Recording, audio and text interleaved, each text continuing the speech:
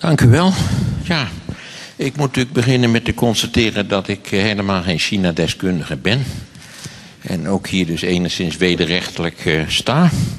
Maar men heeft sterke druk op mij uitgeoefend. En omdat ik ben opgegroeid in een tijdperk dat beleefdheid nog de normaalste zaak van de wereld was, dacht ik, ik kan niet weigeren. Dus vandaar dat ik vanavond ga spreken over een onderwerp waar ik niet zo erg veel verstand van heb. Ja, je zou ook kunnen zeggen, naarmate je ouder en succesvoller wordt, stijg je vanzelf op naar het niveau van je eigen incompetentie. Ja, dat heb ik niet zelf verzonnen, maar dat is eh, door iemand anders heel lang geleden verzonnen en daar zit veel in. Als u even nagaat wie het verbrengen in de samenleving, zijn het meestal mensen die tenslotte terechtkomen op een plek waar ze totaal ongeschikt voor zijn. Ik denk in het bijzonder aan onze minister-president. Maar het is niet anders. Mijn kennis is dus opgediept uit de kranten. Ik heb eh, mijn hele leven kranten gelezen. En ik heb dus ook de afgelopen 25, 30 jaar over China gelezen. En over de bijzondere gebeurtenissen die zich daar hebben voltrokken. Ik las eens een stukje dat, dat er een een of ander onderzoek was ingesteld naar wat de topstory was van de eerste tien jaar van deze eeuw. En dat is dus niet 9-11, dat is niet het populisme, maar dat is China. En mij lijkt dat eerlijk gezegd volkomen terecht. De belangrijkste ontwikkeling van de uh, tweede helft van de 20e eeuw is nou, laten we er twee noemen, is de ongekende welvaartsgroei die zich in het Westen heeft voorgedaan, vooral in de periode 1945-1975. En als we kijken naar het laatste kwart van die eeuw, dan zijn natuurlijk de twee belangrijkste ontwikkelingen. Die zijn de start van de groei in de, in de zeer volkrijke grote Aziatische landen. Want we kunnen allemaal wel aannemen dat na de groei van China ook de groei van India zal beginnen. En u weet, Terwijl die Chinezen de bevolkingsgroei enorm hebben afgeremd. China heeft met ernstigere vergrijzingsproblemen te maken dan wij. Bij ons valt het namelijk erg mee, maar dat vertellen ze u niet. Want ja, de pensioenleeftijd moet omhoog. Dus niemand gaat u vertellen dat wij relatief de jongste bevolking van Europa hebben. Als je hier zo rondkijkt, zou je het ook niet direct zeggen, maar. nou ja, het valt wel mee eigenlijk als ik zo. Uh, misschien toch wel een redelijk gemiddelde. Maar zo is het wel, daar kunnen we nou verder niet op ingaan. Maar daarover is het mondje dicht. Want u weet, alle problemen van de wereld zijn in Nederland ernstiger dan in enig ander land van eh, de planeet. Althans, dat vinden we zelf. Dat volkomen slaat nergens op, maar wij vinden dat dat zo is. En de Indiërs, zoals u weet, die planten zich voort als de konijnen. Uh, en.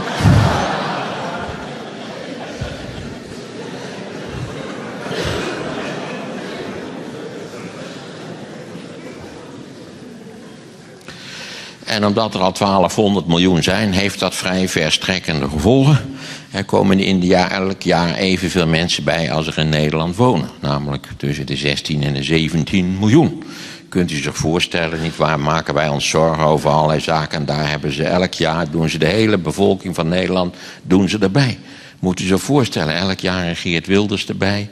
Elk jaar een, een je hoopt dat dat een beetje. Maar dat die ongroei ook daar tenslotte op zal starten, dat mogen we aannemen. En daarmee hebben we natuurlijk, als je de Chinese bevolking er voor het gemak even bij optelt, dan zitten we al heel gauw op 2,5 miljard mensen. Die in de komende eeuw, je moet dat natuurlijk ruim rekenen, waarschijnlijk geleidelijk aan zich zullen bewegen naar een welvaartsniveau. Wat te vergelijken valt met dat van West-Europa. Misschien niet direct van Nederland. Ik heb begrepen dat de Chinezen, die, die laten we zeggen, economisch succesvol zijn, ongeveer op het welvaartsniveau van Portugal zitten. Dat vinden wij niet veel zaaks. Hè?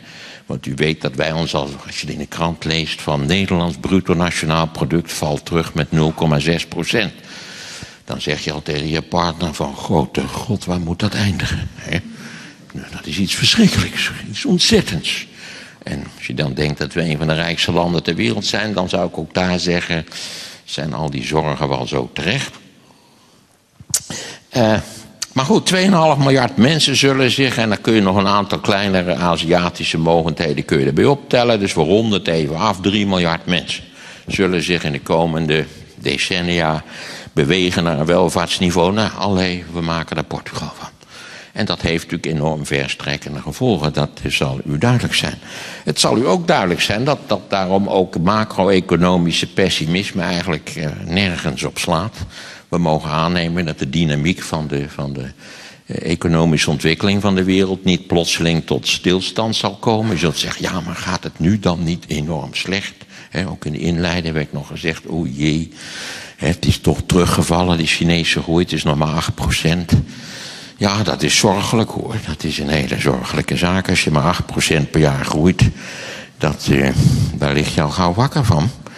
Uh, ja, dat zal gaan met ups en downs. Dat zal, uh, als u denkt aan onze, zeg maar, maar snelle groeifasen. Engeland in de eerste helft van de 19e eeuw, of Duitsland in de tweede helft van na 1870, Amerika na 1870, dan zult u zien dat die groei vaak zeer onevenwichtig was. Hè, dat het zich 10, 15 jaar in een soort raketachtig tempo ontwikkelt. En dan heb je boom en bust. Ja, als u voor het kapitalisme bent, bent u ook voor boom en bust. Dat zijn dingen die inherent zijn aan het economische systeem. U kunt natuurlijk ook zeggen, wij zijn voor centrale planning, dan ben je alleen voor bust. Ja, dat kan ook. Ook is ook een optie natuurlijk. En ja, je zou kunnen zeggen, als je de, de planeet wil beschermen, dan kun je misschien beter daarvoor zijn. Want dat, daar ga ik het vanavond niet over hebben. Gaat de planeet het overleven als de hele bevolking van de planeet op het, op het welvaartsniveau van Portugal terechtkomt? Dat kan ik mij niet over uitspreken. Je ziet, je, de, de berichten daarover zijn zeer tegenstrijdig. Maar dat u vrij binnenkort met de zeilboot eh, gewoon over de Noordpool kunt zeilen, dat is toch een hele verrassende ontwikkeling. Hè? En ik denk dat je wel kunt stellen dat de belangrijkste ontwikkeling van de laatste kwart dus van de 20e eeuw, dat is de start van de groei van die Aziatische landen. Die natuurlijk, dat moeten we wel even bijzeggen, in 1800 was China verreweg de grootste economie ter wereld. Dan vervalt China eindeloos, de Taiping-rebellie en, en met warlords. Nou, u kent dat wel, dat is langdurige chaos. Dan komen de communisten aan de macht. Dat heeft voor- en nadelen gehad. Die hebben het land gecentraliseerd en voorzien van een min of meer competent administratief apparaat. Maar u weet dat, dat met name Mao toen niet goed bij zijn hoofd was in allerlei opzichten. Daarom was hij succesvol en tegelijkertijd ook onsuccesvol. Omdat hij van economie niet zo verschrikkelijk veel begrepen had. Of het interesseerde hem helemaal niet. En in die zin heeft Deng Xiaoping natuurlijk een een, een heel wezenlijke ontwikkeling tot stand gebracht. Interessant is natuurlijk, hoe komt dat? Hij was een beetje een, een leeftijds- en generatiegenoot van Mao, maar hij is veel ouder geworden. Daar ziet u het grote voordeel van om heel erg oud te worden. En al uw randebiele generatiegenoten te overleven. Maar dat valt vaak nog niet mee. Want overleven is bij mijn weten geen, geen signaal van intelligentie. Ja, ik begrijp dat u er even over moet tobben. U zoekt even in uw kennissenkring. Hoe zit het eigenlijk in mijn kennissenkring? Klopt het een beetje of, of eh, moeten er nog een paar dood om deze zaak tot, uh, tot volle wasdom te brengen? Wie zal het zeggen? Uh, ja, ik denk de twee invloedrijkste personen van het laatste kwart van de vorige eeuw... dat waren natuurlijk Deng Xiaoping, daar zullen we het zo over hebben. De kleine kettingroker, nog hij is enorm oud geworden terwijl hij zijn hele leven ketting gerookt heeft. dat is al helemaal een wonderbaarlijke zaak. Dat hij niet zijn hele leven dus niet gerookt, niet gedronken, altijd vezelrijk voedsel gegeten. Nee, nee, nee. Zijn hele leven is in, in aaneenschakeling van uh, onverstandige dingen. Maar laten we even beginnen met Gorbachev, want die, die leeft nog die vergeten we nog wel eens. Die heeft ervoor gezorgd, overigens door een misvatting zijnerzijds, dat, dat, dat er een einde kwam aan een wat wonderlijke tussenfase van de wereldgeschiedenis, namelijk de, de, de bipolaire structuur van eh, de wereldeconomie en politiek tussen 45 en 89. De spanning tussen de Verenigde Staten enerzijds en de Sovjet-Unie anderzijds. Want hij dacht dat de Sovjet-Unie wel hervormbaar was. En dat heeft hij geprobeerd en dat bleek niet zo te zijn. En toen is dat hele systeem in elkaar gestort. En zoals gewoonlijk waren we optimistisch gestemd. En we dachten, het gaat nu eindelijk de goede kant op. En zoals het altijd in Rusland gaat, na een verwarde overgangsfase is het land opnieuw in de handen van criminelen geraakt. En er is voorlopig geen enkel uitzicht op het verdwijnen van de criminelen. Het enige wat er eigenlijk in Rusland veranderd is, is dat de vorige machthebbers waren ook een soort criminelen, maar dat waren geen dieven. En nu zijn het criminelen die ook dieven zijn. Eigenlijk is het systeem alleen maar veranderd, zodat men de winsten kan afromen en op, rekeningen in Zwitserland kan zetten. Ook dat heb ik niet zelf verzonnen. Dat is een heel aardig boek waarin wordt uitgelegd waarom de Sovjet-elite heeft besloten om het systeem te beëindigen. In feite omdat het niet besteelbaar was. Toen Molotov doodging stond er 146 roebel op zijn spaarbankboekje. Hm? Hij is heel oud geworden, dus in al die tijd was hij erin geslaagd om niet meer dan 146 roebel bij elkaar te sparen. En wat denkt u dat er op het spaarbankboekje van Poetin staat? Nou, misschien niet 146 miljard, maar het, het, het, als, als je de hele klik bij elkaar neemt, denk ik dat je een hele eind in die richting komt. Maar goed, Gorbachev heeft een eind gemaakt aan dat systeem. En dat betekent dat de Sovjet-Unie als machtsfactor voor een belangrijk gedeelte is weggevallen. Voor zover het land enige macht heeft, berust hij alleen op de export van grondstoffen. En dat is nou juist heel anders dan China. De macht van China berust op iets anders, namelijk op een hele actieve dynamische groei. Is die ontwikkeling overigens in India en China en andere Aziatische landen een, een opmerkelijke zaak? Feitelijk helemaal niet. Het is alleen een opmerkelijke zaak als u vasthoudt aan het idee wat wij in het Westen hadden, dat wij wel auto's konden maken, maar dat Aziaten dat nou eenmaal niet konden.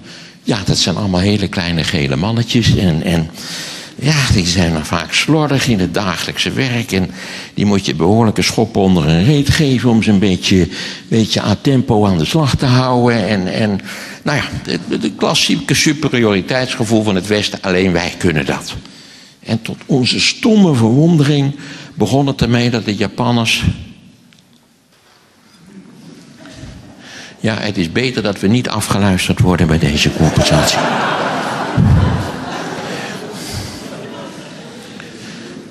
Die deur zit gelukkig ook dicht. En toen ineens kwamen we erachter dat de Japanners eigenlijk betere auto's konden maken dan wij. Wat een enorme verrassing was dat. Eigenlijk omdat ze ze veel solider in elkaar schroefden dan wij ze in elkaar schroefden. Nou had je wel de Duitsers natuurlijk die, die het ook erg solide deden. Maar dat waren prijzige auto's. En, en wij reden bovendien niet in Duitse auto's na de oorlog. Om, dat kon je niet maken. Hè? Dat was niet fatsoenlijk. Zeker als intellectueel moest je een Franse auto rijden met alle risico's van dien. Ja, de Franse productie bestond grotendeels uit maandagauto's. Hoe dat mogelijk was, begrijp je nog niet, maar het was wel zo. Dus de Japanners hebben, want dat zijn we bij, bij al, al die opwinding over China, zijn we natuurlijk gemakkelijk vergeten dat de Japanners in feite het kunstje ook al een keer vertoond hebben. Namelijk dat ze in een no time, eigenlijk vanaf de Tweede Wereldoorlog tot 75, als u kijkt naar de efficiëntie van de, van de productie, van de, van de industriële productie, zult u zien dat Japan in de Tweede Wereldoorlog nog op een niveau ligt van 20% van het Amerikaanse niveau. En dat het in 1975, zijn we precies drie decennia verder, precies even efficiënt produceert als de Amerikanen. En tegenwoordig aanzienlijk efficiënter produceert als de Amerikanen. Want in allerlei opzichten hebben de Amerikanen natuurlijk de, de slag om de superefficiëntie van de productie in de afgelopen 30 jaar verloren. Dus alleen als je uitgaat van onze, nou noem ze maar rustig racistische vooroordelen, dan ben je verrast over datgene wat zich in Azië heeft voltrokken of bezig is te voltrekken. Ja, u zult misschien even denken, terwijl ik zo bezig ben, gaat het eigenlijk wel over het thema wat aangekondigd is. Nou, nee, dus.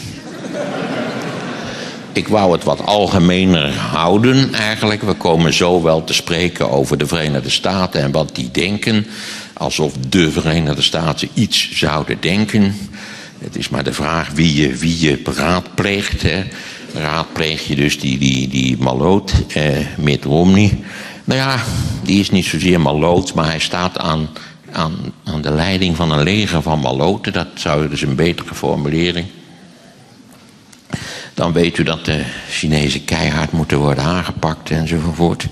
Trouwens, ook, ook Obama heeft niet geschroomd om in deze verkiezingsmomenten ook te zeggen dat die Chinezen toch de boel oplichten en hun munt op verkeerde manier manipuleren. Eh, maar goed, dat is verkiezingspraat. Daar komt het in grote trek op neer. Maar goed, ik kom daarover te spreken, maar ik wil het eerst even wat algemener houden. Dus ja, als u uitgaat van onze racistische vooroordelen, is wat zich voltrokken heeft in China een hele opmerkelijke zaak. want dat hadden we niet gedacht, dat die Chinezen dat zouden kunnen. Net zo goed als het bij de Japanners, toen de Japanners begonnen met de export van fietsen in de jaren dertig. Ja, dat zijn geen fietsen. Ik bedoel, ja, zijn wrakke dingen, die hebben ze afgekeken van ons. Dat hadden ze niet zelf kunnen bedenken, zo'n ding met twee wielen en trappers eraan. Dat, eh, maar een kopergazelle of zo, dat zijn heel wat solidere. Of een vongers, dat zijn heel wat solidere fietsen die wij zelf maken. Ja, dat bleek allemaal eigenlijk helemaal niet zo te zijn. Denkt u aan de betrekkelijk komische wijze waar bijvoorbeeld op de hele West-Europese motorindustrie, afgezien van BMW, weggevaagd is in tien jaar door de Japanse motorindustrie. U zult zich afvragen waarom?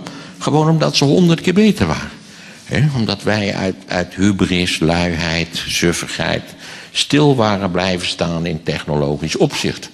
Al denk ik niet dat er onder u vele motorrijders zijn. U zwijgt stil, kennelijk is dit een wijdverbreide sport hier.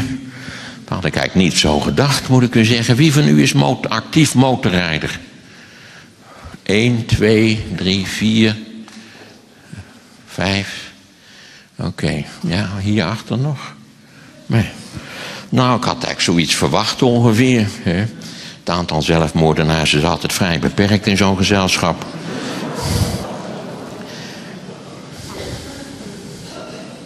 Ja, het was helemaal niet bijzonder natuurlijk. Want gaat u eens naar wat.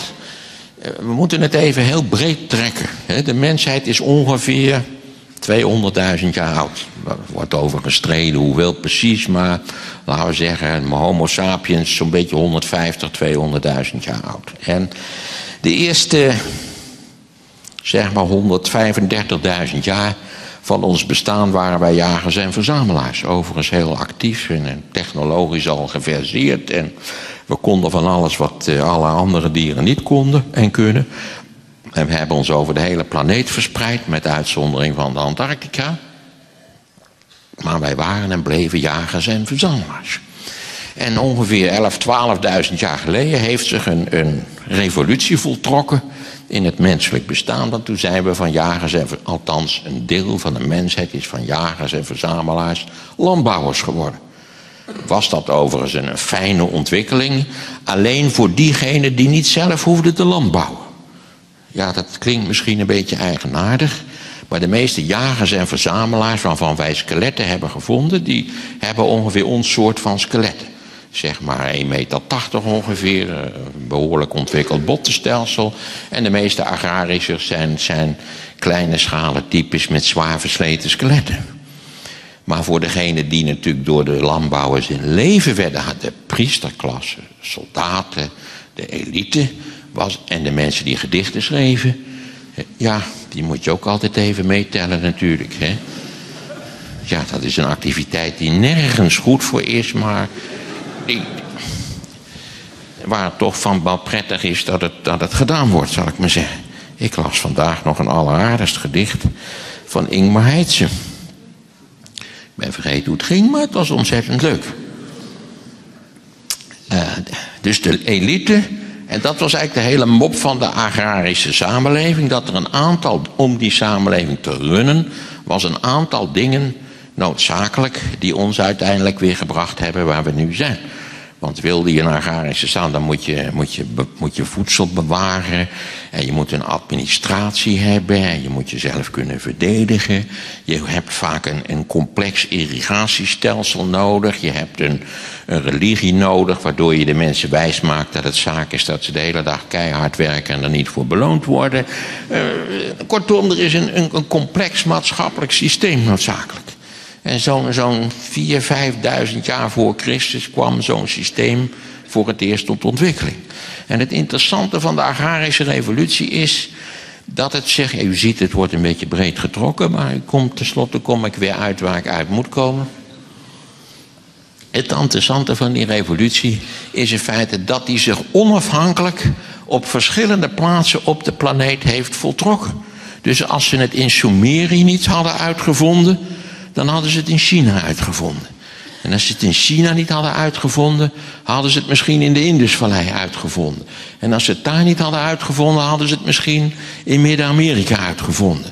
Dus op vijf verschillende plaatsen, op verschillende momenten in de menselijke geschiedenis is men overgestapt op een agrarische productiestructuur. Nou, u weet, dat heeft een hele tijd geduurd en rijken kwamen op en rijken gingen onder. U ziet, het blijft ook een beetje met de brede kwast. Maar als u zo'n kocht laatst eens op de luchthaven zo'n boek over, nou ja, over rijken die opkomen en rijken die ondergaan. En ik denk dat is enorm interessant allemaal. En na dertig bladzijden dacht ik, ik weet het wel zo'n beetje. Hè? Ze komen op, ze bloeien een tijdje en dan gaan ze weer onder. En dat, nou ja, dat was in het laatste hoofdstuk ook nog zo. Dus ik heb het hele tussenstuk heb ik overgeslagen. En ik moet u zeggen, dat ga ik nu ook weer doen. En ze komen op en ze gaan weer onder. Maar ergens, op een geheimzinnige wijze, ergens in de loop van de 16e en de 17e eeuw, voltrekt zich stap voor stap een revolutie waarvan eigenlijk nooit precies duidelijk is waarom die zich voltrekt en waarom op dat moment en op die plek. Je kunt wel bepaalde oorzaken aanwijzen, maar stap voor stap worden de condities gecreëerd om te beginnen aan een nieuwe revolutie, waar we eigenlijk nog steeds mee bezig zijn. Waarom zit u hier zo fijn in een verwarmde zaal, eh, waar ooit de Unie van Utrecht is gesloten? Eh, heeft u niks om handen vanavond? Heeft u al zo vaak naar de televisie gekeken dat u dacht, nou kan ik wel eens een avond naar een lezing toe? Ja, misschien heeft uw echtgenote gezegd, laten we in godsnaam nou eens niet naar die televisie kijken vanavond. Er zijn leukere dingen in het leven dan televisie. Bovendien hoor je op de televisie voor Rossum altijd maar twee minuten. En nu, nu is hij de hele avond aan het woord. Hè? Een genoegen wat praktisch onbeschrijfbaar is. Um, ja, dat heeft u te danken aan de industriële revolutie. Anders had u hier niet gezeten. Had u in een tochtig huisje gezeten met, met, met bedwansen en, en zou een groot gedeelte zou al overleden zijn en een ander gedeelte zou tuberculeus zijn en weer een ander had kaakabscessen waar niks aan te doen was en, en u was al twee vrouwen verloren in het kraambed. Nou ja, kortom, het was onbeschrijfelijk ellende eigenlijk. Hè? Dat, dat vergeten we wel eens hoe het tot zeer voor kort was. Ja, de industriële revolutie. Het gekke is, dames en heren, Wist u dat precies 300 jaar geleden, in 1712, de eerste min of meer effectieve stoommachine in bedrijf werd gesteld? En is het niet opmerkelijk dat daar ja, dit jaar geen enkele aandacht aan besteed is? Met name niet op de televisie. Die, zoals u weet, een uniek talent heeft om aandacht te besteden aan dingen die totaal onbelangrijk zijn. Vandaar dat het goed is dat u hier zit. En dat u hoort dat 300 jaar geleden, maar waar, voordat je een stoommachine kunt bouwen, moet je een aantal simpele dingen begrepen hebben die, die voor u volkomen vanzelfsprekend zijn, maar die ontdekt zijn in de 17e eeuw. De luchtdruk. Ja, als ik zo zeg luchtdruk, dan zegt u ja, dat, dat wist ik ook wel, luchtdruk. die is hoog of laag. En als die laag is, regent het. En als die hoog is, schijnt de zon. Dat is zo globaal wat u daarvan weet, van de luchtdruk. Maar die luchtdruk is zeer aanzienlijk. En als ik u nou vertel dat halverwege de 17e eeuw het eerste volstrekt overtuigende experiment is gedaan. waarmee de luchtdruk aangetoond werd, namelijk dat van de Maagdenburger halve bollen. Zegt u dat nog wat, de Maagdenburger? Halve bollen. Ja, wij moesten er op school altijd enorm om lachen. Omdat wij bij halve bollen eigenlijk maar één, aan één ding konden denken. Dat kunt u beter niet doen. Er zijn misschien zelfs mensen onder u die denken, waar zou dat kunnen wezen? Eh, dat ga ik niet uitleggen. Eh, u moet daarvoor een deel van uw puberteit hebben bewaard ergens in de krochten van uw brein. Dan weet u het meteen.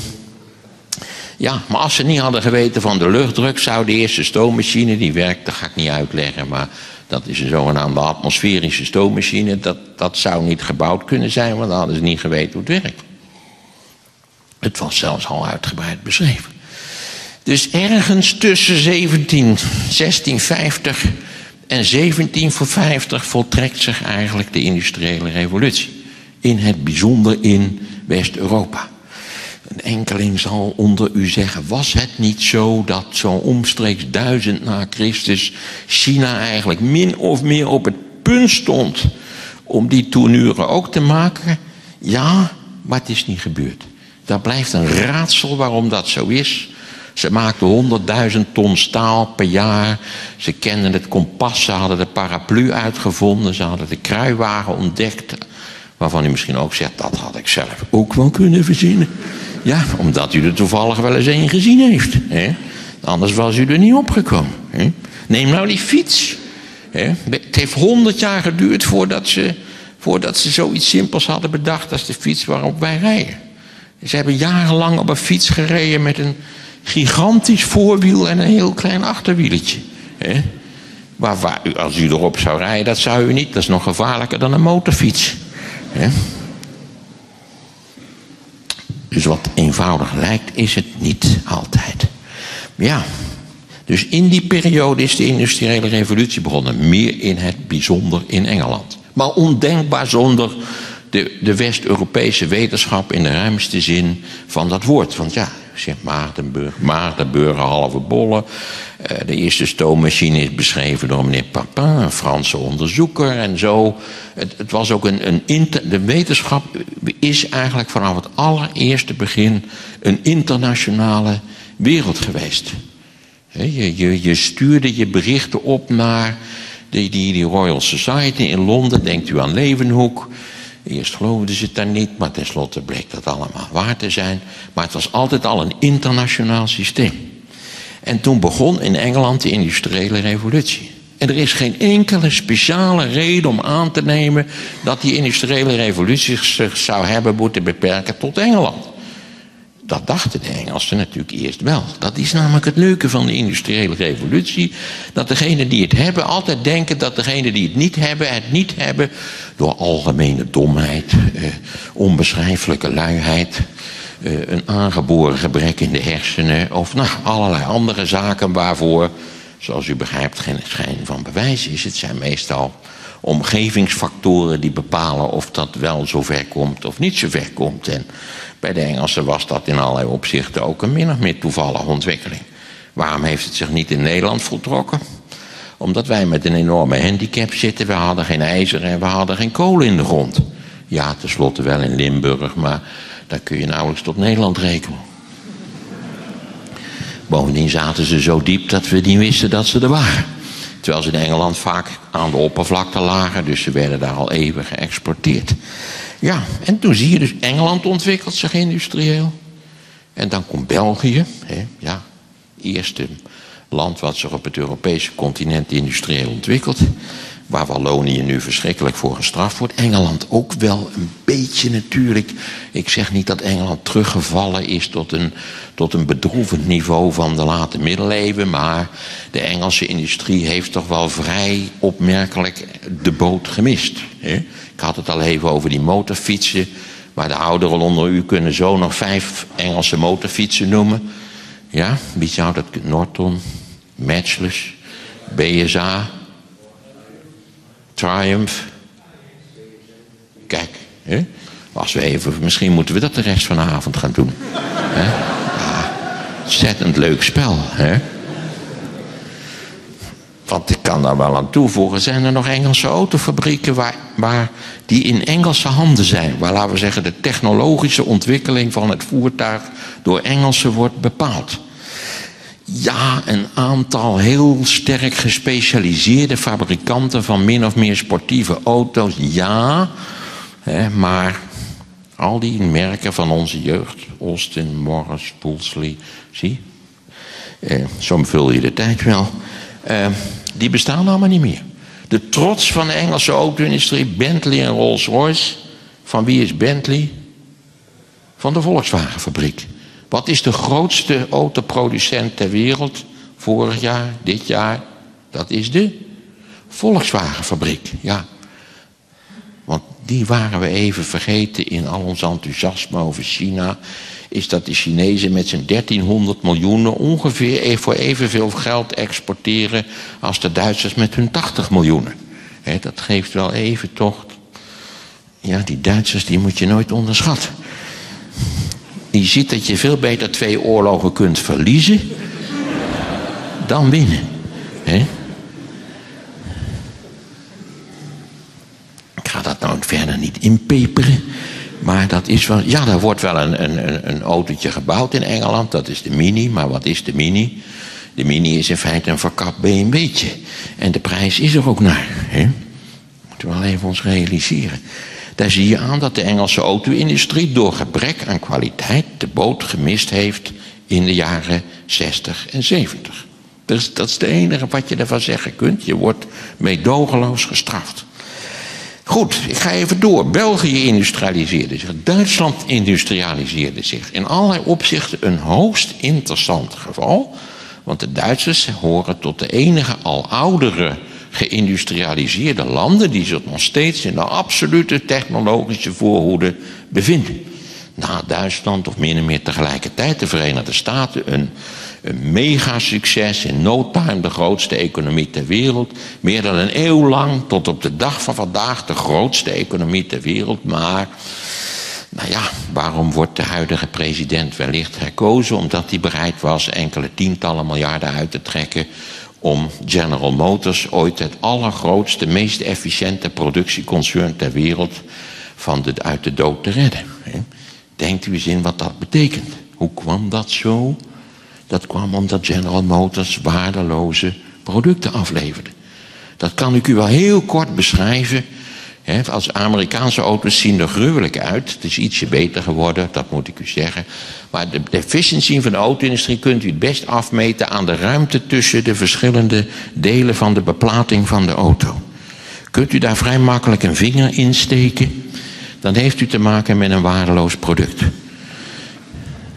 Dat heeft wel voordelen, want dan kunt u de deur dicht doen en terwijl uw vinger ertussen zit, zonder dat u, zonder dat u hem kwijt bent. Terwijl als je bij een Duitse auto je vinger erin laat zitten, bij een Audi, dan, dan is die eraf. Want dat luistert daar nou. U weet wat u dan moet doen. U neemt de vinger tong en u fietst als een scheet naar het ziekenhuis. Dan schijnen ze hem er gewoon weer aan te kunnen zetten, heb ik gelezen. Maar het is nog verstandiger om geen Audi te kopen misschien.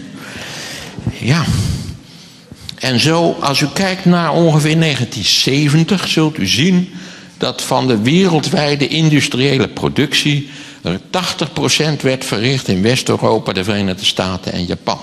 Als u nu naar de cijfers zou kijken, ziet u dat daar al een enorme verschuiving in is opgetreden. Een gedeelte van die industriële productie is uit het Westen verdwenen, ook uit Japan verdwenen, en die is verplaatst al in de richting van China.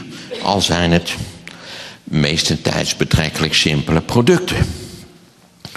Met uitzondering natuurlijk van de iPhone. Wie heeft al een iPhone? Helemaal niet. Oh, ja, daar zitten toch. Je ziet ook dat ze even aarzelen, omdat ze bang zijn dat ze straks in de gang beroofd zullen worden. Hm? Dat die afgepakt zal worden. Maar u kijkt er wat trots bij, toch? Hè? Zo van, zo. Nou, u weet, dat wordt door Foxconn in elkaar gezet.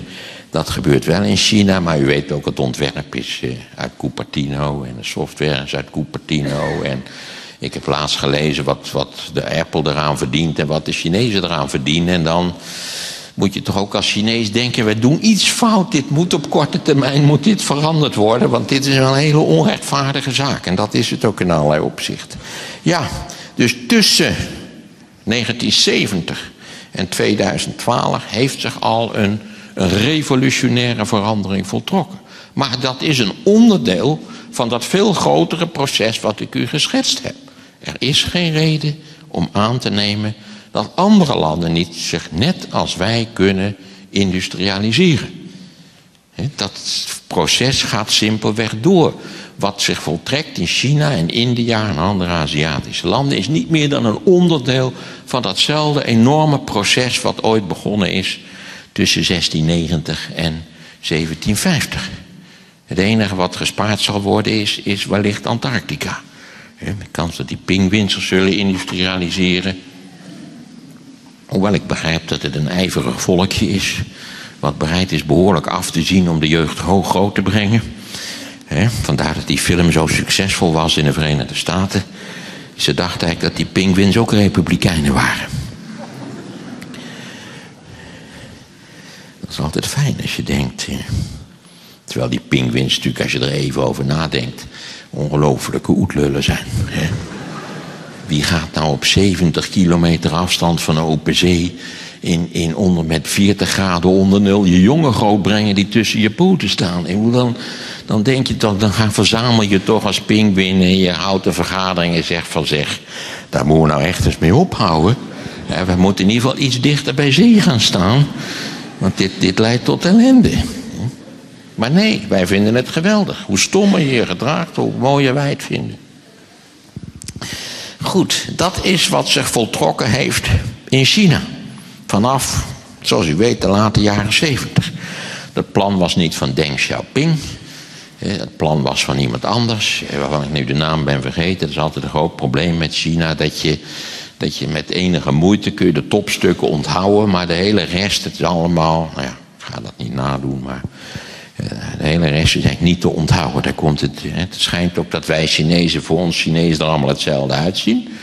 Terwijl wij er voor Chinezen allemaal hetzelfde uitzien. Terwijl als ik zo rondkijk, dan constateer ik toch zeer opmerkelijke verschillen. Tussen iemand met een iPhone en iemand zonder een iPhone. Uh, ja, en Deng Xiaoping heeft in 1979 besloten dat hij... Wat zei hij ook alweer? Waarom zou je eigenlijk geen, geen socialistisch kapitalisme kunnen hebben? Hè? Wat maakte het uit uh, wat voor kleur de kat had als die maar muizen ving?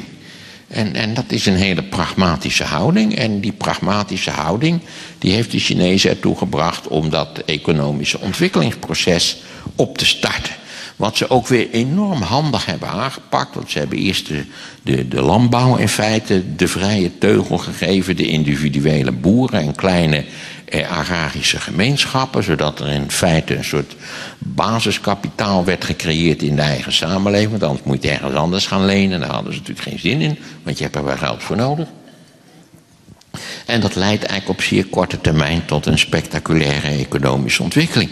Je ziet wel aan China hoe snel het eigenlijk kan. Eh, maar we wisten eigenlijk wel dat het ontzettend snel kon. Want, want ook als u kijkt naar de ontwikkeling van de Amerikaanse economie tussen het eind van de burgeroorlog 1865 en 1900, dan ziet u al hoe snel het eigenlijk kan.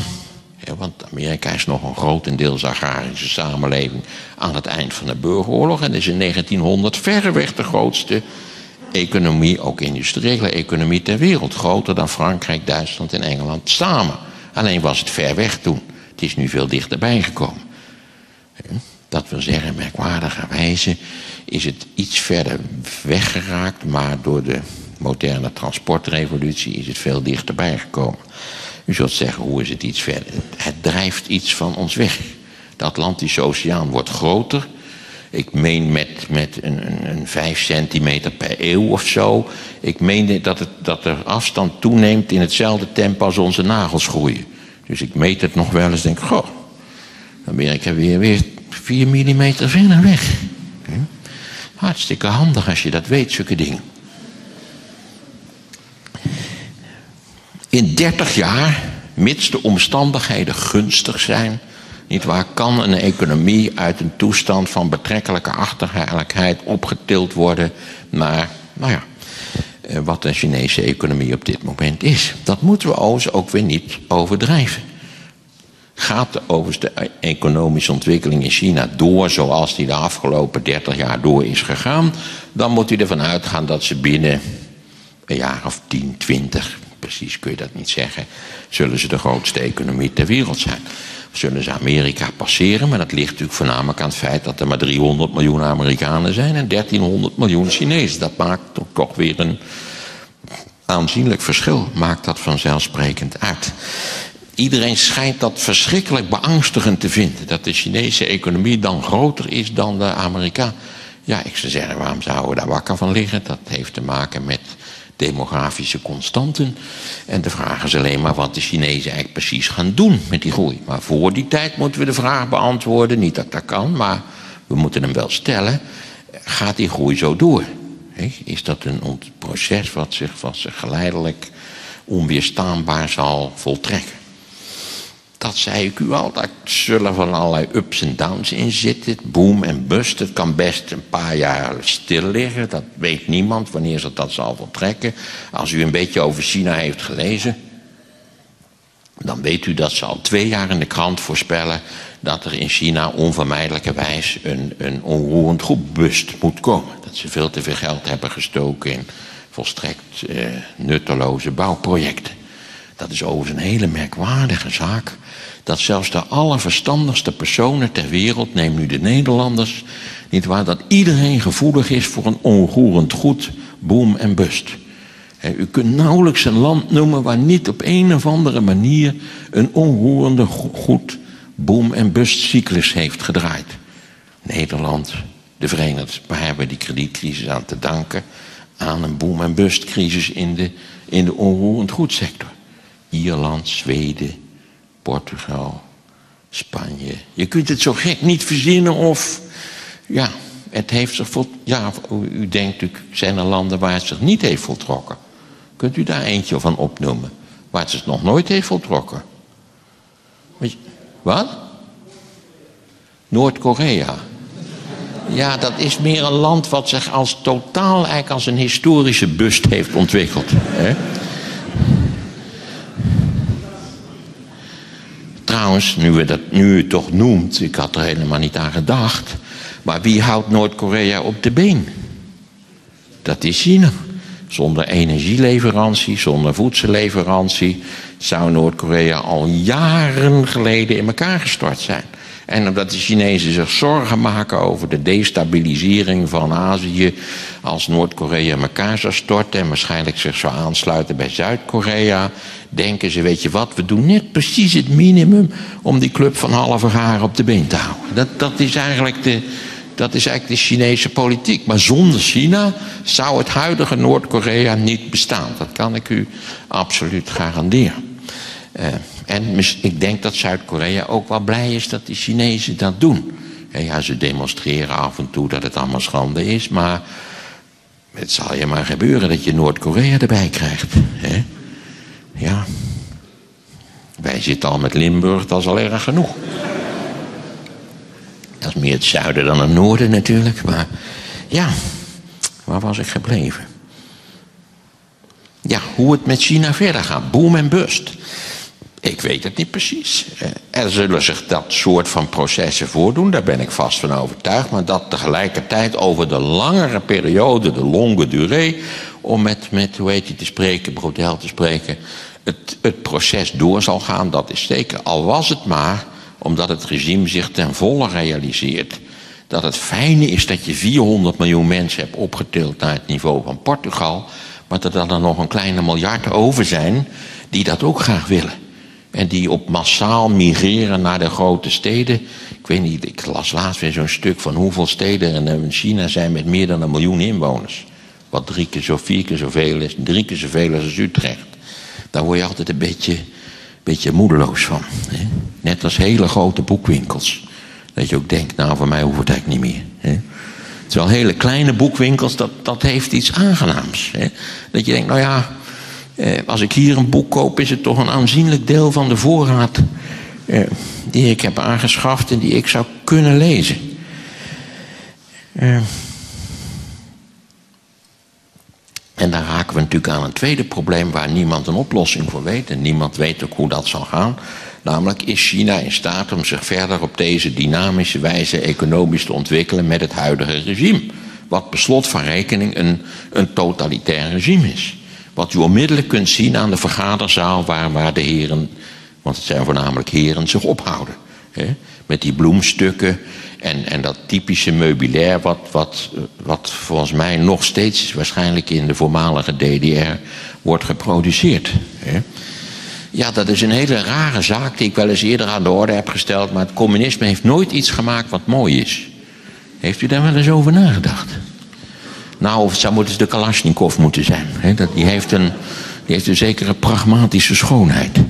Maar de hele rest, dat is dat meubilair, wat dan ook maar, gebouwen. Het, zelfs de kunst van de communisten is, het, is, is niet om aan te zien werkelijk. Hè? Van die gespierde vrouwen op zo'n tractor. Hè? Ja, Madonna op een tractor. Want ik vind Madonna ook veel te gespierd.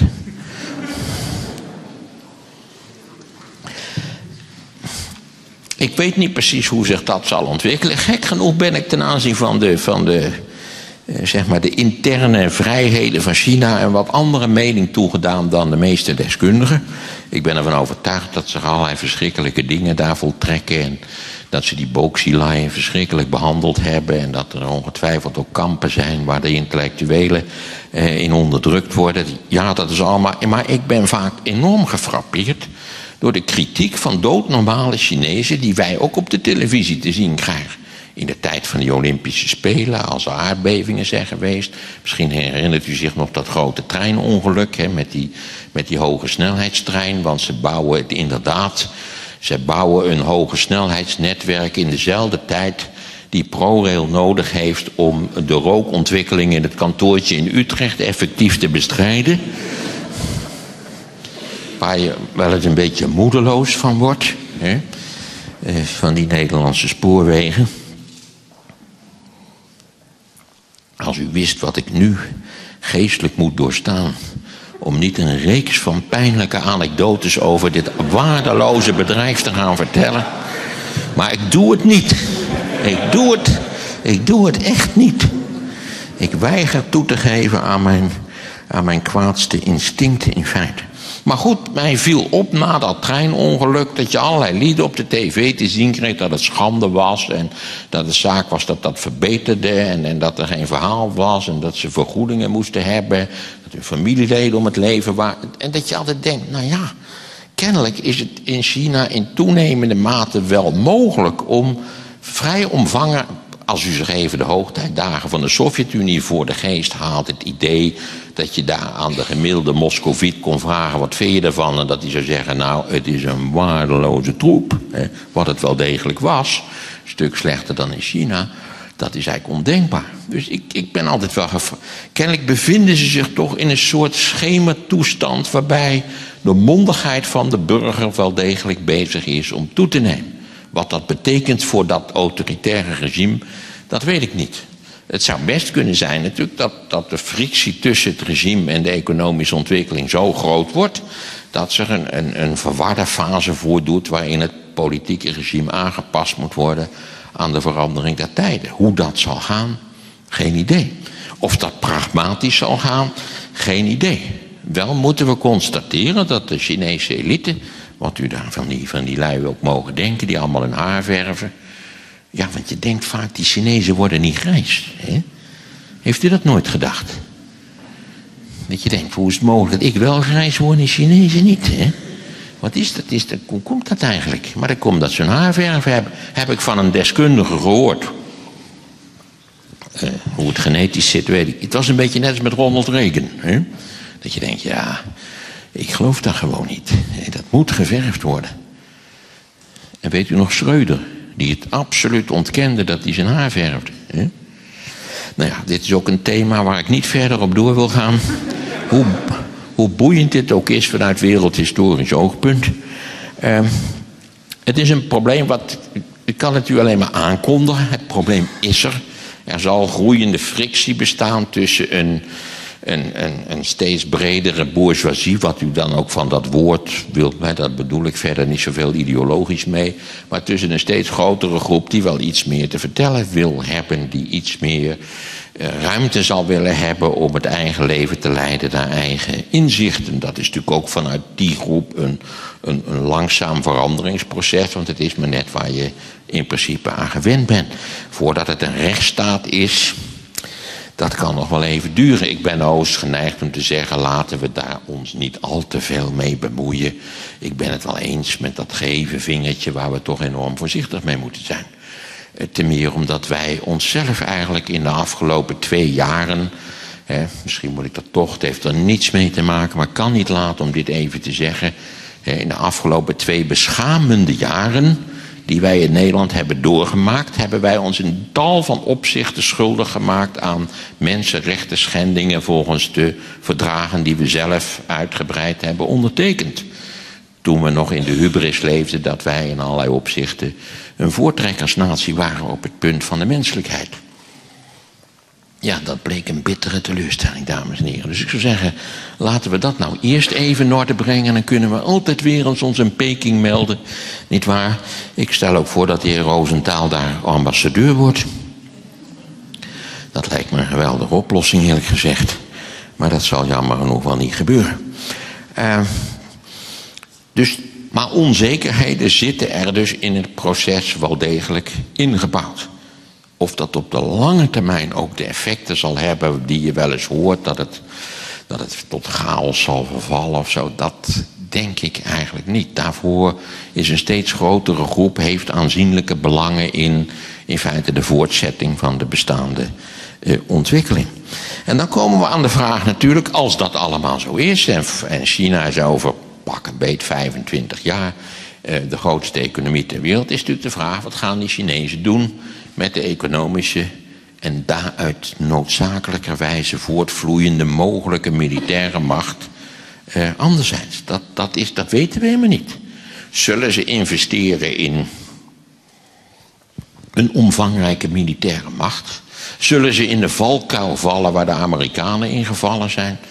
na de Tweede Wereldoorlog de machtigste natie ter wereld. En als je eenmaal de machtigste natie ter wereld bent, dan wil je het graag blijven. En als je eenmaal een enorm militair apparaat hebt ontwikkeld, denk je dat vrijwel alle crises in de wereld op voortreffelijke wijze kunnen worden opgelost door het gebruik van dat enorme militaire apparaat wat je hebt.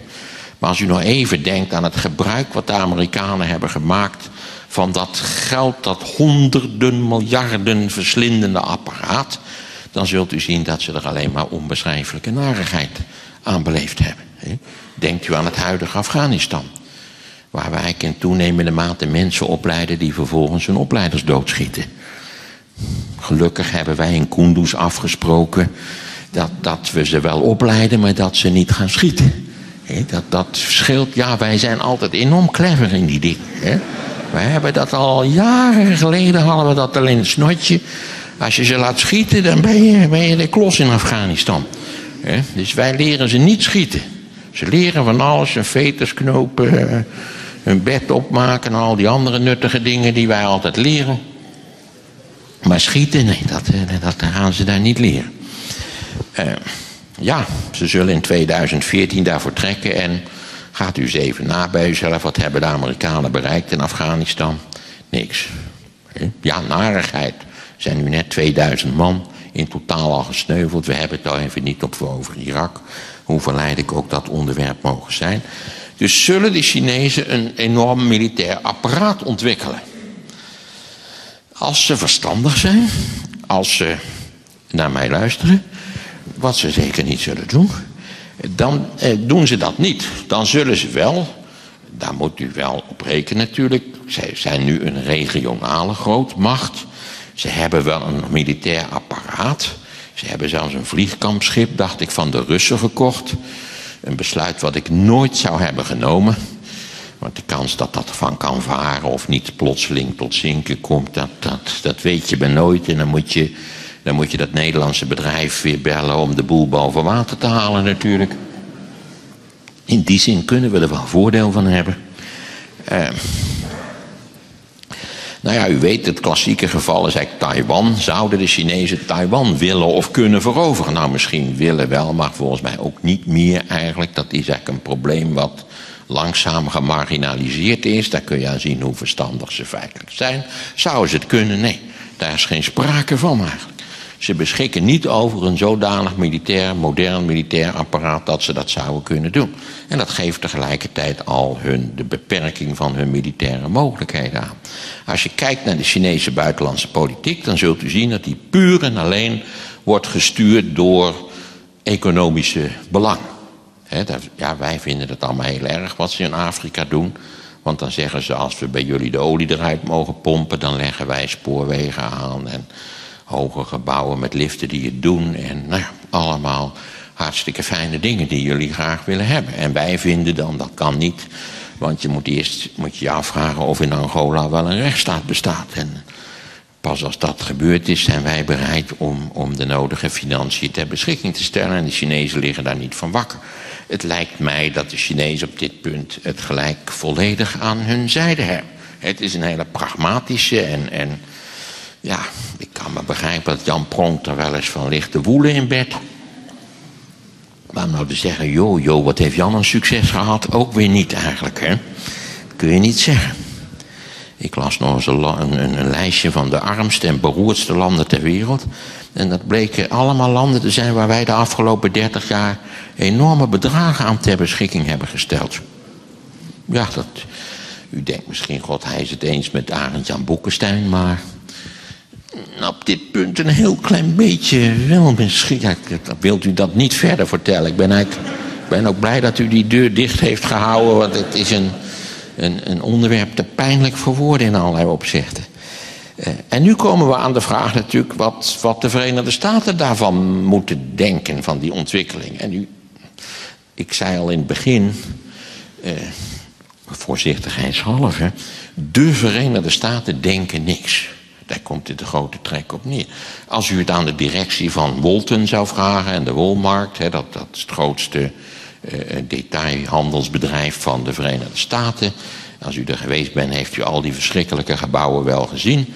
Waardoor de lokale kleine middenstand naar de bliksem gaat. Dat is een bedrijf wat, wat garen heeft gesponnen bij de productie van zeer goedkope goederen in China.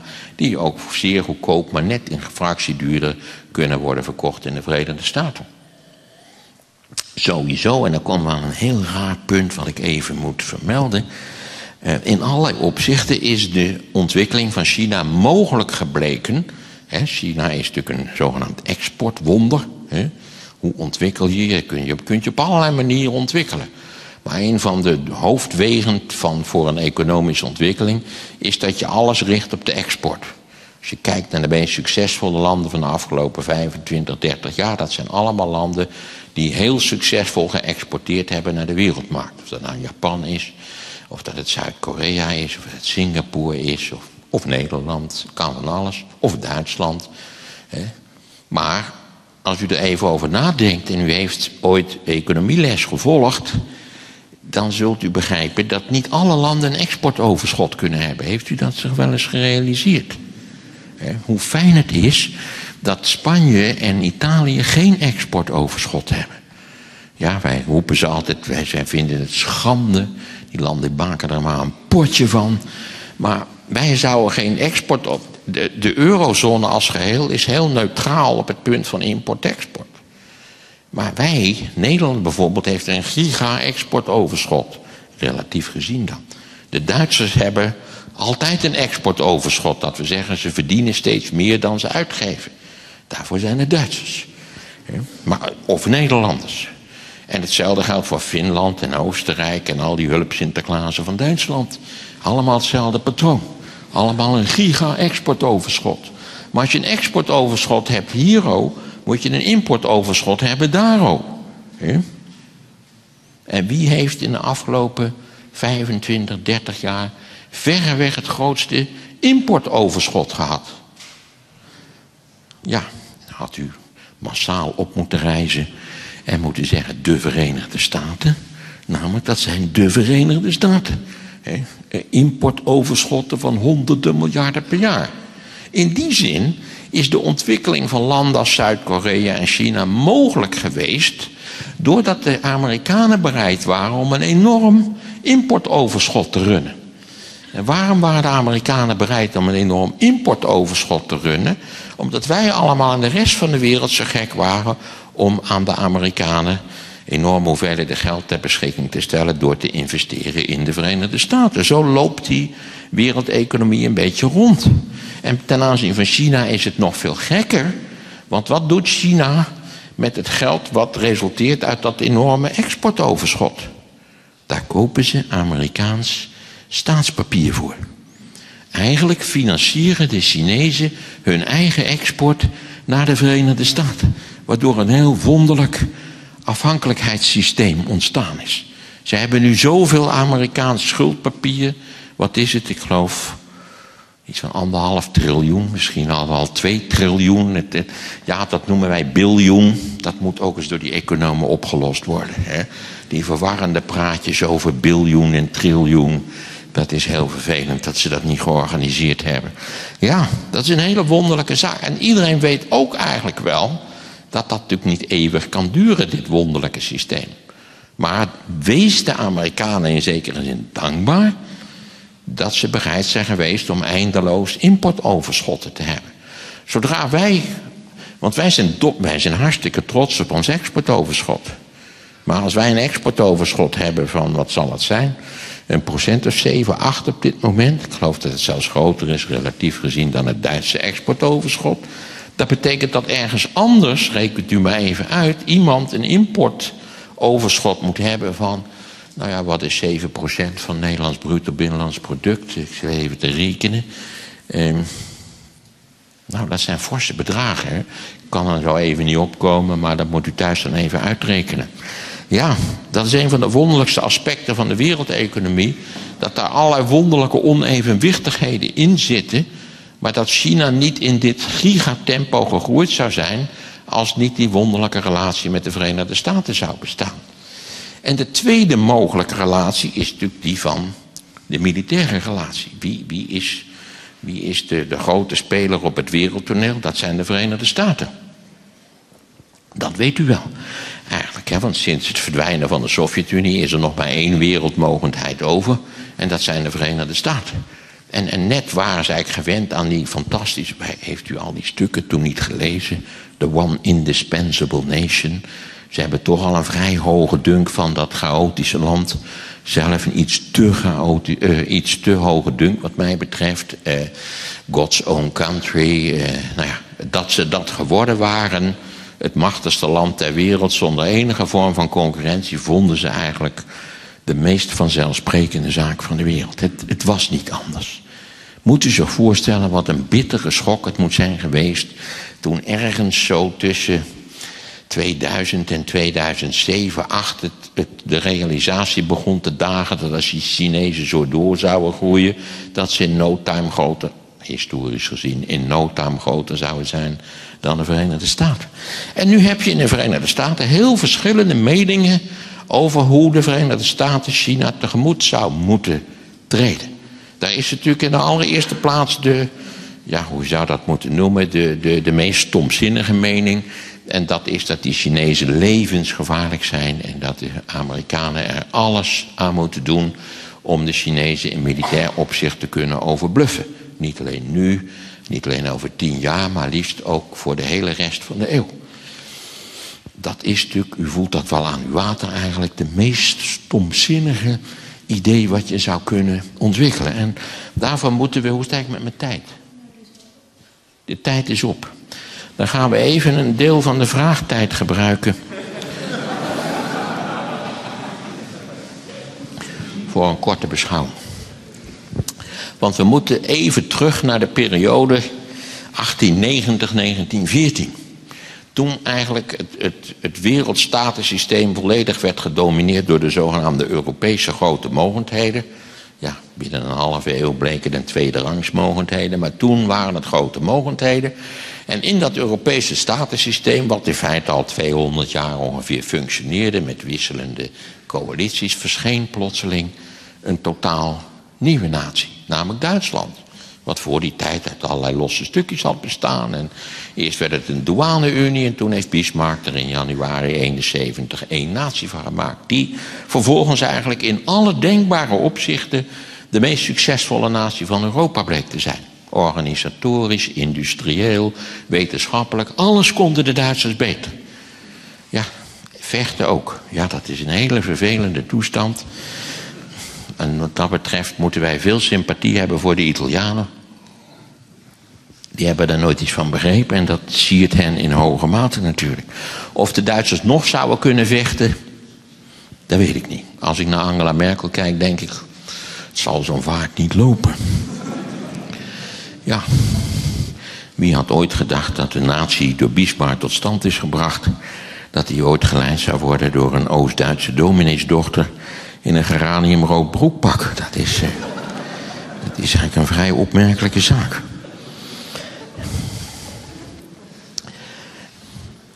En eigenlijk is Europa er in die 25 jaar die ik u beschreef niet in geslaagd om Duitsland te integreren in een groter Europees statensysteem. De Duitsers waren, dat moet gezegd worden, agressief en lawaaiig. Denkt u aan die suffe keizer met dat armpje.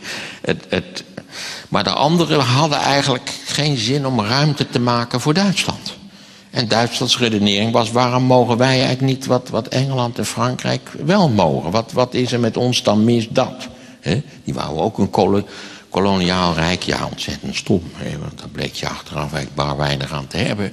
Maar dat wilden zij ook. Zij wilden ook wat Frankrijk en Engeland had. En, en tenslotte is men, is, is men toch bevroren in een soort polarisatie in de Europese machtspolitiek. tussen een coalitie van de Engelsen, de Fransen en de Russen aan de ene kant. en Duitsland en Oostenrijk-Hongarije aan de andere kant. En dat heeft geleid tot de Eerste Wereldoorlog. Die de Duitsers, ja god, dat hoef ik u verder niet te vertellen, kapitaal verloren hebben. En omdat ze hem kapitaal verloren hadden, dachten ze, we doen het nog een keer. Dan gaan we winnen. Dat was eigenlijk Hitlers kernidee was, we doen het nog een keertje over en dan gaan we winnen. We hebben ze weer verloren. En nu zijn we in 2012 gearriveerd en nu blijken ze glorieus gewonnen te hebben eigenlijk op alle denkbare fronten. Of het nu Bentley en Rolls-Royce is, of de euro, of, of wat dan ook maar. Ze hebben in alle denkbare opzichten gewonnen. Denkt u aan het feit dat François Hollande op de dag van zijn inauguratie, nadat hij zeiknat was geregend op de Champs-Élysées bij het leggen van het kransje, is hij dezelfde avond nog met gevaar voor eigen leven naar Berlijn gevlogen. Want de bliksem is nog in het toestel. Ik weet niet of u dat een beetje gevolgd heeft. Hè? Dat zou pas ironisch zijn geweest. Franse president komt om tijdens vlucht naar Berlijn. Maar goed, dat is dan dus net niet gebeurd. Dus aan, aan Duitsland zie je aan de opkomst van Duitsland en het onvermogen van de geëtableerde machten om dat, om dat op een subtiele en flexibele wijze aan te pakken, zie je wat we in ieder geval niet moeten doen als het om China gaat. Geef China de ruimte. Wordt China de grootste mogendheid in Azië, althans op de afzienbare termijn? Ja. Kunnen we dat tegenhouden? Nee. En hoe meer we het zullen tegenhouden, hoe meer we aan die rechtse Amerikanen zouden toegeven van we moeten een vuist maken. Oppassen, die Chinezen, dat zijn levensgevaarlijke lui met verschrikkelijke ambities om de westerse waarden te vernietigen, enzovoort, enzovoort, enzovoort. Dan weet je zeker dat die polarisatie zal leiden, ook aan de Chinese kant, tot, tot een grotere inzet van de economische macht om ook een militaire macht te ontwikkelen. Want je hoeft dat in principe niet te doen. Je kunt als economische grootmacht heel goed besluiten om, om, om niet alles in te zetten voor, het, voor de opbouw van een militair apparaat. Trouwens, moet u zich al zorgen maken over deze zaak. Iedereen die hier boven de 50 is, die gaat het nog wel redden. Voor de rest kan ik geen garanties bieden. Zult u begrijpen, ja, niet al te gek worden natuurlijk. Um, want als China vandaag zou besluiten dat ze Amerika op enige wijze militair strategisch naar de kroon zouden willen steken, hebben ze zeker 25 jaar nodig om eh, de technologie op te bouwen, het researchapparaat om Amerika inderdaad op het punt van de high-tech militaire hardware eh, naar de kroon te steken. Mij zou het enorm verbazen als ze het zouden doen.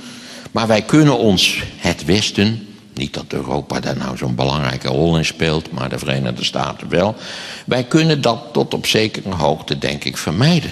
Door de ruimte te creëren om. Ja, misschien moet ik u een enorm raar iets vertellen. U heeft vast wel ooit gehoord van dat boek van Huntington, The Clash of Civilizations. Dat is beroemd geworden omdat hij voorspeld heeft dat, je, dat het met die Mohammedanen kwaad kersen eten is. En dat langs de lange grens van het Westen en het Mohammedanisme niks dan narigheid zal ontwikkelen. Nu blijkt eigenlijk dat de Mohammedanen vooral bijzondere talent hebben om hun eigen narigheid intern te ontwikkelen. En Wij hebben er eigenlijk niet zo verschrikkelijk veel last van. Ze blazen voornamelijk zichzelf op. Beetje net als die linkse student in de jaren zestig. Ja, ik zie dat dat bij u helemaal geen lichtje doet ontbranden. Maar zo is het wel. Um, maar in dat boek staat een heel interessant hoofdstuk. Naar mijn idee verreweg het beste hoofdstuk wat erin... Want die van dat Mohammedanisme, dat geloof ik allemaal niet zo erg. Dat valt nogal mee naar mijn idee. Maar daar staat een enorm interessant hoofdstuk in over het Westen en China. Want dat boek is geschreven toen je al een beetje kon verwachten dat China dat, dat, dat ze voorspoedig zou ontwikkelen. Dat is ook allemaal gebeurd. En wat zegt Huntington daarin? Die zegt ja, wij moeten China de ruimte geven. De grootste fout die we kunnen maken is dat we China bang maken. dat, dat, we, dat we nou, wat, wat was het woord? Dat we geen respect tonen. Dat we, dat we wel al die onderbroeken voor een zacht prijsje willen hebben, maar dat we in feite niet, niet bereid zijn om de Chinezen ook in, in Azië en misschien wel in de wereldpolitiek de ruimte te geven. En ik zou zeggen, ja, ik ben er erg voor dat we het wel doen. En dan wachten we gewoon af wat er gaat gebeuren. Omdat als het misgaat, ben ik dood. Ja, dat is langzamerhand. Dat is een van de meest geruststellende aspecten van het ouder worden. He? Lees je in de krant Wereld, zeespiegel stijgt in hoog tempo. Dan denk je, nou, mijn tijd zal het wel duren. He? Of ik moet wel verrassend oud worden. Dat uh, zou wel een verschrikkelijke straf zijn. Ja, lees dat stuk van Huntington in The Clash of Civilizations. Waar hij bij bovendien zegt, wat mij uit het hart gegrepen is... dat Amerika en West-Europa veel meer botje bij botje zouden moeten leggen. Dat, ja, u weet, dat is in Amerika geen populair standpunt. En dat komt omdat Amerika in toenemende mate in de greep is geraakt van een wonderlijk radicaal rechts denken. Waarbij in feite Europa wordt afgeschilderd. Ik las laatst de, de, de verzweding van de Verenigde Staten. Dat is het ergste wat ze kan over de Swedenization of the United States. Ik geloof een citaat van, van die grote denker Mitt Romney. Eh, en dan denk je als West-Europeaan, dat dat zou een zegen zijn. Als Amerika aan, aan onderhevig zou zijn aan Swedenization. Hè? Dat zou voor de modale Amerikaan zou dat een onbeschrijfelijk geschenk zijn als dat het geval zou kunnen zijn. Maar zij zien dat in feite als een bedreiging. De vraag is natuurlijk, gaat dat denken triomferen? Ik denk van niet. U ziet dat ik eigenlijk een onverbeterlijke optimist ben. Eh, eh, en ik denk dat wij, want dat, daar, daar geloof ik dan weer wel in, in ideologische zin het Westen, het Westen betreft West-Europa en de Verenigde Staten, dat is uiteindelijk een cultuur die gebaseerd is op het individualisme. En op het idee dat het uiteindelijk gaat om het geluk en ontplooiing van, van het individu. En niet om, om collectieven waarbij je, waar je aan volledig aan ondergeschikt bent. Als u nou zegt, ja wacht nou eens even, dat is simplistisch gedacht. Want we zijn natuurlijk nooit alleen maar individuen, maar we zijn delen van... Dat ben ik allemaal 100% met u eens. Maar toch ben ik geneigd om te zeggen, of je nou de Amerikaanse constitutie leest... Niet waar, of het verlichtingsdenken bekijkt, of de moderne democratie, wat er dan ook allemaal mee mis mogen zijn. Toch gaat het daar om vrij essentiële zaak. En op dat punt zou het Westen botje bij botje moeten leggen. Maar daarbij niet die Chinezen en andere Aziatische grootmachten in aanbouw zodanig moeten hinderen dat, dat het zou kunnen leiden tot een gepolariseerde strategische situatie. Waar we, vergeet dat niet, denk weer even aan Duitsland. Hè?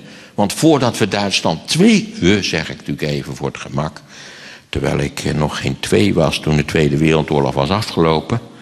Ik ben overigens wel gebombardeerd maar door de Engelsen. Ja, die hadden het weer helemaal mis. U weet dat de Engelsen een uniek talent hadden om hun bommen. U weet waarom Nijmegen gebombardeerd is, omdat ze dachten dat het kleef was. Waarschijnlijk hadden ze die nieuwe uh, maps op de iPhone uh, hadden ze voorstaan. Laten we hopen dat die niet voor militaire doeleinden gebruikt gaan worden, want dat zou niet zo best zijn. En zodoende ben ik ook bijna om het leven gekomen, maar door, de, door onze bondgenoten en niet door de vijand in feite. Uh, nou ja, dat is een grote trek en mijn kijk op de zaak. Ik kan u ook ten aanzien van de Amerikaanse politiek weinig garanderen, maar laat ik ook op dat punt optimistisch afsluiten. Ik denk dat de, de, dat, dat radicale conservatisme, wat, wat in Amerika nu toch een betrekkelijk hoge vlucht heeft genomen, dat dat langzamerhand zo radicaal is geworden dat het in feite zichzelf uit de markt prijst. En daarbij komt dat Amerika zelf, afgezien van de rest van de wereld, onderhevig is van, aan zeer ingrijpende demografische veranderingen. Ik las ergens dat dit de laatste verkiezing is die je zou kunnen winnen met een blanke meerderheid. Over vier jaar kan het niet meer. Over tien jaar is het uitgesloten. En dat betekent natuurlijk ook, hoop ik zelf, dat uiteindelijk ook Amerika zal kiezen tot, voor een verstandig beleid in het midden. En dat heeft ook consequenties voor de buitenlandse politiek. Je moet ook op het punt van de buitenlandse politiek er toch niet aan denken dat Mitt Romney de verkiezingen gaat winnen. Dat, anders geformuleerd dat Netanyahu de verkiezingen gaat winnen. Want daar komt het eigenlijk in grote trek op neer. En het is van een diepe, diepe tragiek, maar daar gaan we het nou verder niet over hebben, dat de staat als Israël eigenlijk de grote onruststoker is in een, een zeer belangrijke regio van de wereld. Dat, dat is een tragische ontwikkeling in allerlei opzichten. Dus ja, u ziet, ik kan, eh, naar mijn idee, eh, gaan we een glorieuze toekomst tegemoet als het gaat om de wereldeconomie. Iedereen die ooit een flatscreen tv heeft gezien, wil er zelf ook in hebben. Iedereen die ooit in een autootje heeft gereden, zeker als het mannen zijn, wil zelf ook een autootje hebben. Al die spulletjes, niet waar, waar wij zo gelukkig van zijn geworden. Zo gelukkig dat we nu kunnen zeggen dat het eigenlijk helemaal nogal meevalt met dat geluk. Hè, dat, je, dat het eenvoudige leven eigenlijk een, een, iets heel, heel moois is. Dat zeg je namelijk pas als je, door, als je ondertussen helemaal geen problemen meer hebt met het eenvoudige leven. Ja, als je zo gewend bent geraakt aan drielaags vederlicht en zacht wc-papier dat je niet beter weet dan dat het de normaalste zaak van de wereld is. In plaats van je reet met oude kranten af te vegen. Of met je vinger. Ja, dat schijnt ook heel goed te kunnen. Ik heb er weinig ervaring mee, maar het schijnt te kunnen. Um, ja, de industrialisering van de wereld zal zich voortzetten. En laten we daarbij hopen, niet waar, dat we niet de fouten maken die we in Europa gemaakt hebben tussen 1870 en 1945. Ja, ik ga daar niet schijnheilig, nou ja, schijnheilig, waarom niet eigenlijk? Laten we vooral ook in Europa die zaken conserveren die het product zijn van onze realisatie dat we het decennia lang helemaal verkeerd hebben gedaan. En u begrijpt wat ik bedoel. Of niet? Ja, sommigen knikken voorzichtig en denken van... zou dat weer die Maagdenburger halve bollen zijn waar hij het over heeft? Eh, oké, ik dank u zeer voor uw aandacht.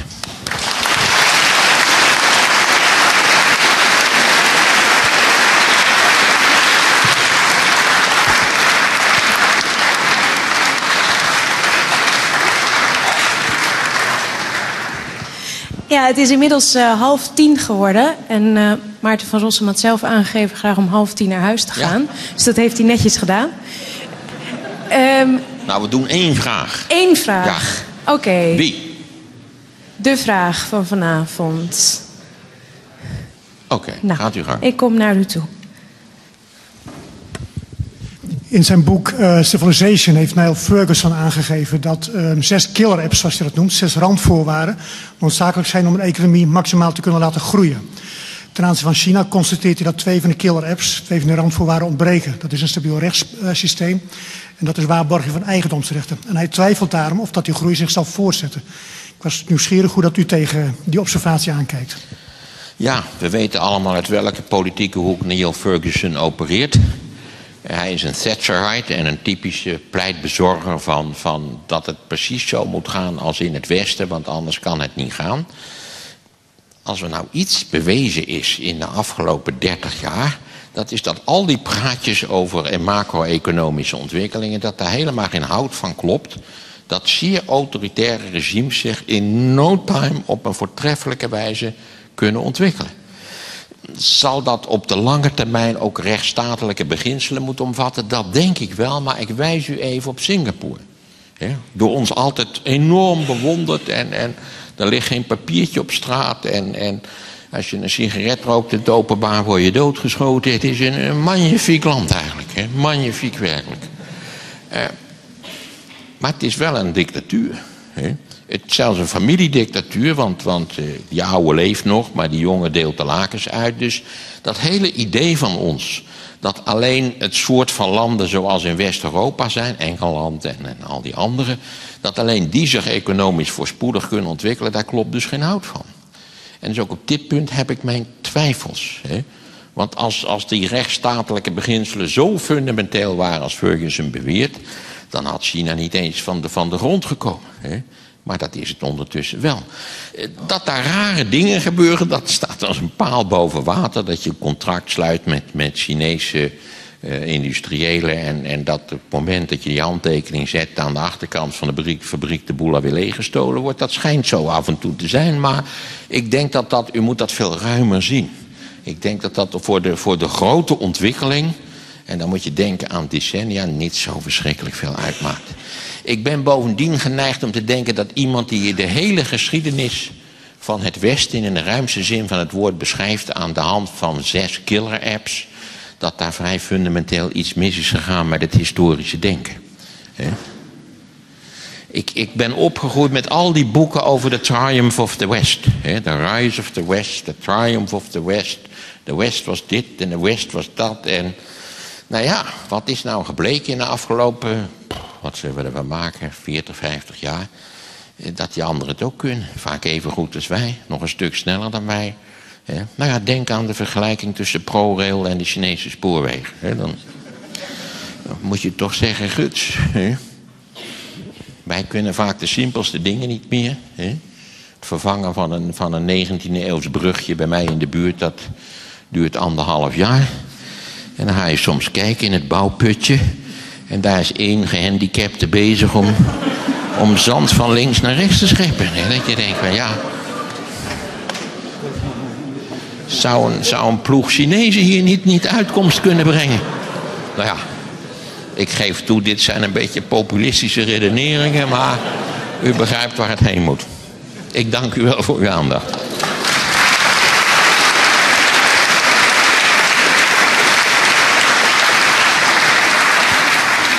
Dames en heren, u ook allemaal heel erg hartelijk bedankt voor uw uh, komst vanavond. Mocht u meer willen horen van Maarten van Rossum.